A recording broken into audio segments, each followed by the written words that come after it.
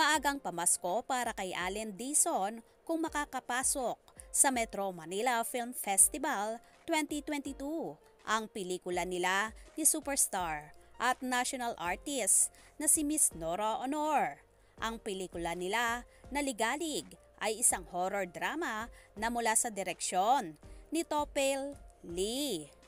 Na-excite nga si Allen noong matuloy ang pelikula nila ni Ate Guy mas maganda raw kung makakasama ito sa Metro Manila Film Festival. Say ni Allen, natuwa ako. Parang napakadaming blessing namang dumating. Napakaagang pamasko, di ba? This year kasi nagkaroon ako ng Hall of Famers sa FAMAS. Kasama ko si Ate Guy. Tapos, meron pa kaming gagawing pelikula. Sobrang saya ko. Sobrang tuwa ko. Kumbaga, hindi ko ma-express kung gaano ako kasaya. Yung fulfillment ko bilang aktor.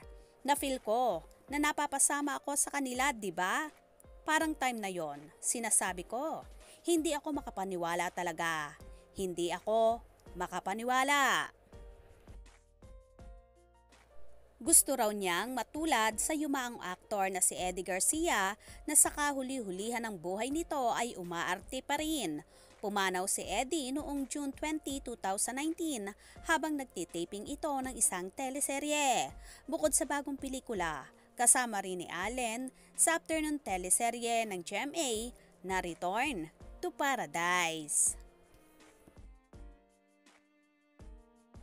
Isa nga si Allen Dizon sa napakaswerte at nakasama niya at nakatrabaho sa pelikula ang nag-iisang superstar na si Nora Anor at national artist din.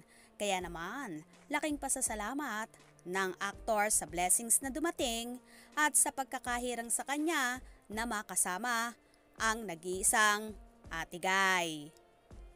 Mga kaskup, anong inyong magiging reaction sa bidyong ito? Comment below.